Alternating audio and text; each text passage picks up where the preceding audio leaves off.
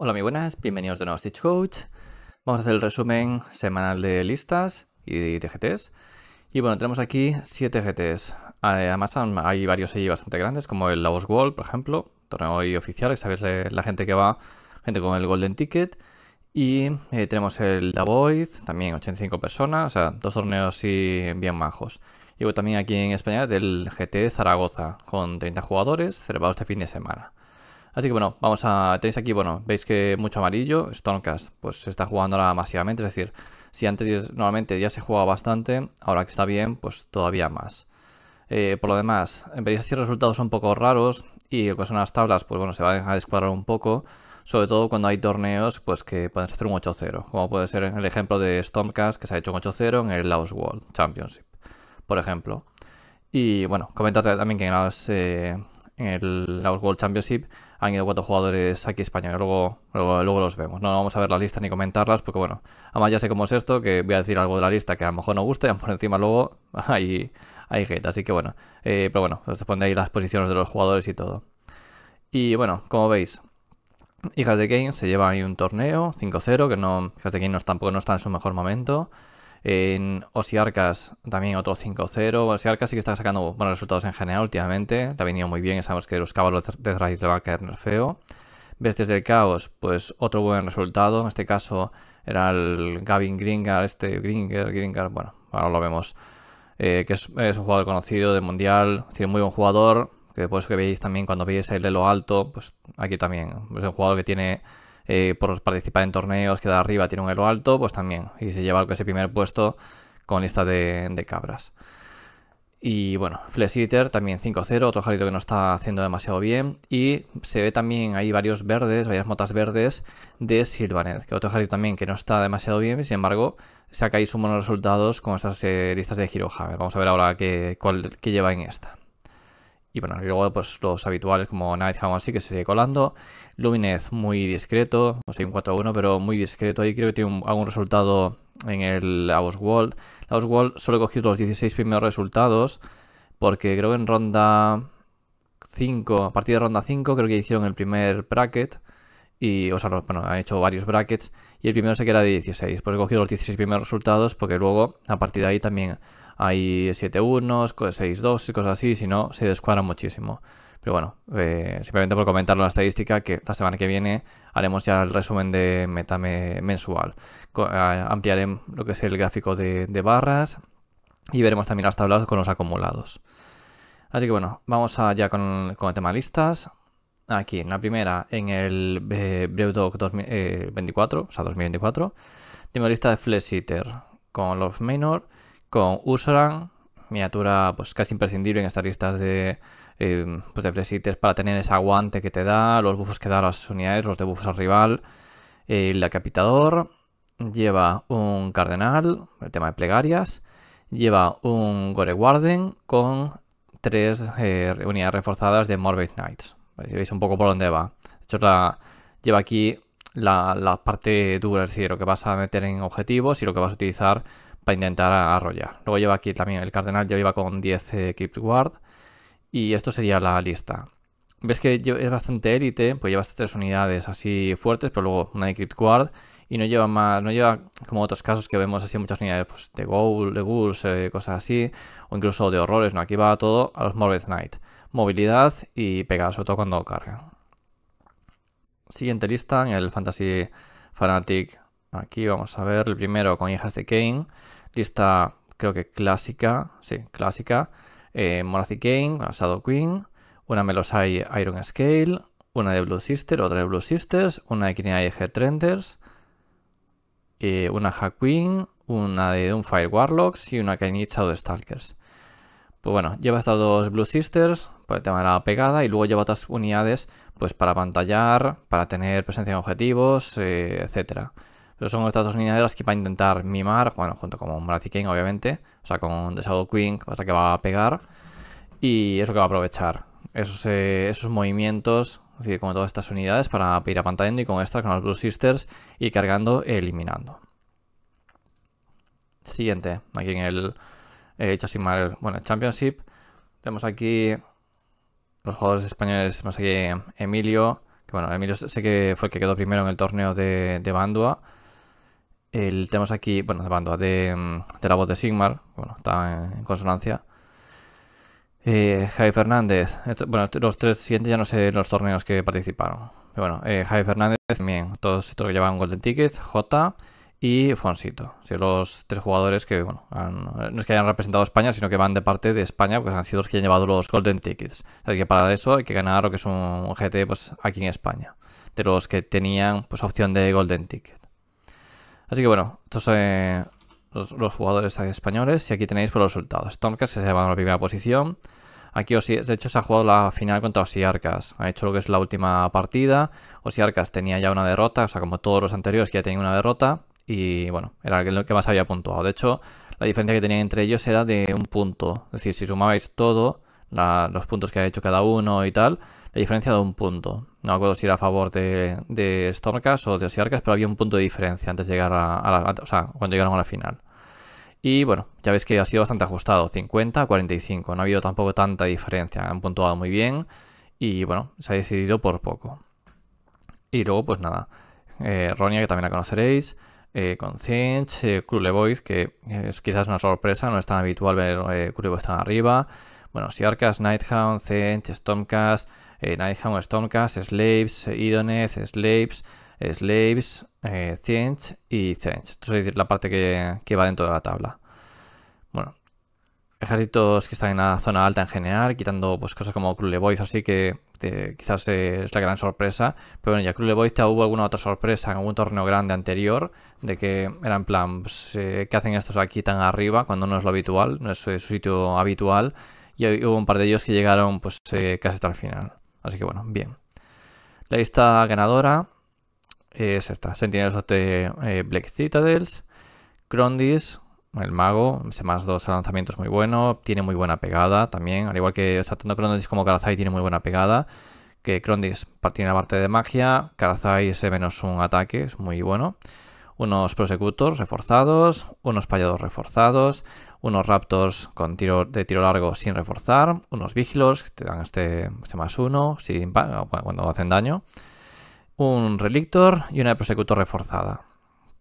Como veis, los prosecutors, pues el tema de cargar con tres dados, que no son unidades tampoco, es decir, no son unos anihilators como antiguamente que te, bajaban a 7 y te hacían muchísimo daño y destrozo, no hacen tanto, pero siguen siendo una unidad que no te permite tener los servidores desprotegidos, la típica pantalla que te puedes dejar por ahí al cargar, como tienen daño entre los disparos que te puedan hacer, si se posicionan bien, mm, te pueden hacer algo de daño y sigue estando a la misma distancia de carga. Y aunque quites una miniatura, pues tirando con tres dados y pudiendo repetir una vez, posiblemente consigas igual. Eh, te pueden eliminar es una pequeña pantalla, algo que dejes así aunque no sea demasiado fuerte, te lo pueden limpiar del objetivo y robarlo obviamente. Con lo cual te habilita pues, eh, ciertas tácticas, eh, te habilita también el poder coger objetivos para puntuar más, etc. Aquí quizás la desventaja que puedes tener en ocasiones es que es una lista bastante táctica y bastante élite, que a lo mejor no tienes los objetivos Mm, te cuesta un poco mantenerlos y luego tienes que ir recuperándolos. Pero ya ves, es una lista pues eh, potente. Hay que jugar contra ella para realmente hacerte, hacerte la idea de cómo va. No es una lista típica, como mejor con otras cosas. Así que bueno, lista, como he dicho, lo he dicho, lista ganadora. El German Major Hamburg 2, vamos a ver la lista primera Osiarcas, otros clubes que también puntuó bastante bien. Nightham, Nightham, Stormcast, Grim Spy, Nightham, Osiarcas, Zench Scaven, Nightham, bueno, que veis un poco los ejércitos. Y tenemos Osiarcas con Cábalos Las, mover las unidades de Cábalos 6 eh, pulgadas al inicio. Lleva Catacross con 3 unidades de Cábalos de Rider, una de Morteguar sin reforzar, un Sol Mason y Teratic Horde. Tema de, tener el DR. Y estas tres unidades de Cábalos que se están viendo muchas listas. Es decir, los 30 Cábalos, eh, pues eso, se están viendo muchas listas por el tema de intentar ya, o sea, denegar al rival tácticas en turno 1 y eh, va a hacerle bastante presión, meterle bastante presión según lo que intente hacer. Y bueno, la movilidad que te da que también te facilita pues tener control de mesa. Eso sí, mucho cuidado porque vas a querer cargar tú. Si no cargas, pues vas a perder mucho. Y con Catagros tienes que jugar muy, muy bien la pompa para intentar buffar, sobre todo el, más uno a salvar, tenerlo activo siempre que puedas.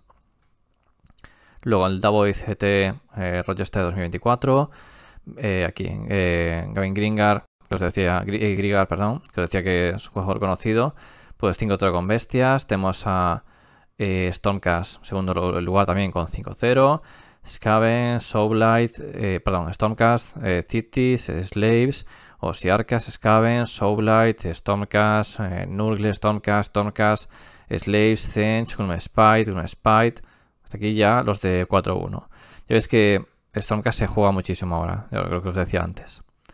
Bueno, bestias de caos con Marauding Brayhair y lleva un Gribri Saman, 1, 2, 3, 4 unidades de Vestigo reforzadas, un Grey Saman más y dos de Ungors. Estos eh, ya habíamos otra lista que no sé si llevaba las cuatro unidades reforzadas o llevaba tres. Pero esto tiene pinta que los Vestigos les van, a subir los puntos. Ya he oído por ahí un rumor de rebalanceo que esta semana, el miércoles, ya, bueno, ya veremos. Pero los Vestigos eso, han tenido que es una. O sea, están, funcionando bien dentro de estas listas, son muy poderosos y posiblemente en algún momento, si no es ahora, ese será cuando hagan el Battle Score, seguramente le caiga una subida de puntos. Eh, y la segunda lista, que es la de Stormcast, tenemos a Karazai, es decir, el, otro que quita un ataque, una de Praetors, la va a esa protección, una de Payados reforzada, una de, perdón, dos de Vanguard Raptors de disparo largo reforzadas, una de Relictor y una de Griffhounds. Como veis, juega con el tema de si va a hacer despliegue rápido, mucho cuidado, porque es decir, juega muy táctico con los Vanguard Raptors para intentar protegerlos, tener, lleva el Vanguard Wing para teleportarlos también, pero juega muy táctico con ellos. Con los Gift Hounds, intentar tenerlos cerca de ellos, pues si algún enemigo pues baja para hacer despliegue rápido, algún teleport cosas así. No sé si funciona con todo. Sé que con despliegue rápido funcionaba antes, estoy seguro, pero creo que sigue funcionando. Entonces eh, te evitas eh, alguna sorpresa que te puede dar el rival y pues con esto este disparo puedes ir picando bastante. Y luego tienes, bueno, a Karazai con los payados para, para tácticas, para pegar, es decir, Karazai también pega mucho, se va bufando, pues cuidado también. Vamos con el Renegade Open. Tenemos Sylvaneth y Nighthound, los dos eh, primeros, bueno, Lumineth, eh, Glomspite, Zench, eh, Corne, Osiarcas y Sylvaneth, sean los, primeros que han hecho 4-1 mejor. Eh, con Outcast, y lleva a Belzanos, dos de Kunot Hunters, una con espadas y otra con guadañas. Ojo, no lleva los de disparo. Un Warson Revenant, una de Gosamid Arches, una de Tree Revenants, una Branwich y otra de. Ah, otra de Gosamid Archers y otra de Tree Revenants. Es una lista pues, que se busca sobre todo puntuar, porque tiene dos de Gosamid Archers, pues, tema de movilidad, los dos de Tree Revenants, tema de teleport, eh, Branwich y Warson Revenant para tener que es, eh, tres hechizos, Belzanos y dos de Kurnoz para el tema de la pegada. además los de Guadaña están muy bien objetivos, muy difícil. Bueno, no, es que sea muy difícil, es que si cargas pues te puede llevar una sorpresa cuando te vuelvan el daño. Y los de las espadas son más ofensivos. Así que bueno, lista basada en los Kurnoz, Belzanos y luego muchas unidades para hacer, o sea, para puntuar bien, para bufar y para puntuar bien. El otro es de Em, ah, sí, Nighthound, que también hizo 5-0 con Death Stalkers, el de retirarse y recargar una unidad por turno. Y tiene a Reikenor, sabéis que Mago 1, pero se puede hacer una mortal y es Mago 2 con más 1 también al lanzamiento. Eh, una de Reapers reforzada, una de Reapers sin reforzar. Esto me ha llamado la atención. Entiendo que es por eficiencia de puntos. A la hora de hacer la lista, lo que cuadra mejor es para llevar a Reikenor. Y luego lleva una de Headroid reforzada, a Lore Executioner, eh, también con lo de que te puede quitar un ataque está muy bien. Y lleva a Owlratch para el tema de teleportar y salir 7 del rival con una unidad por turno. Y lleva una de Revenant reforzada, una de Revenant sin reforzar y una de Chain, reforzada. Es una lista un poco distinta a lo habitual porque lleva los Chain Rasp, lleva los Reapers, lleva 30 Reapers, 20 eh, Chain Rasp. No son unidades habituales en estas listas. Y bueno, lo demás, pues sí, Outrage con los Revenants que van a hacer ahí su combo. Y lo curioso es que los Revenants los lleva aquí, no los lleva con, con Reiki, ¿no? que es el de general, por ejemplo, para darle pues, el más uno al perforar contra ciertos tipos de unidades cosas así. Así que bueno, bastante curioso. Y en el GT de Zaragoza, tenemos aquí, Frank, se lo ha llevado Frank Marcos. Y vamos a, ver la primera lista, que es Nighthound, que bueno, no es ninguna sorpresa, ya hemos visto listas, no iguales, muy parecidas. Y lleva de Stalkers también, lo he dicho, que lleva con Owlratch, una de Revenant reforzada, dos y tres, tres de Revenant reforzadas, dos de Headray reforzadas y un Guardian of Souls. pues nada, tres unidades de mucha pegada, como son los eh, Revenants, sobre todo si cargan ellos, obviamente. Eh, para el tema de teleport. El Guardian of Souls más uno a herir. Y aparte, pues lo lleva equipado con todo, porque Aurach es único, no puede. Em, entonces, bueno, tienes aquí, supongo que tendrá lo de revivir media unidad una vez por partida y el ataque adicional cuando carga o algo así. Pero bueno, el de revivir es casi seguro, el otro no estoy tan seguro. Y bueno, el Guardian Souls, como da más uno a herir también en área, pues muy buena unidad. Y es la magia que lleva. Y lleva bueno, lleva el... Vale, pensé que llevaría a lo mejor la encarna, pues no. Bueno, lleva el, el Roth Machinery. Bueno, vale. Así que bueno, es la, lista que se ha llevado el GT, que ha hecho el 5-0. Así que bueno, con esto cerramos el vídeo. Ya sabéis, si hay una lista así que, os haya interesado y tal, pues eh, podéis pedirlo aquí os, eh, y lo ponemos y tal, y comentamos. Y bueno, nada más, eh, dejamos aquí el vídeo, espero que os haya gustado y hasta la próxima.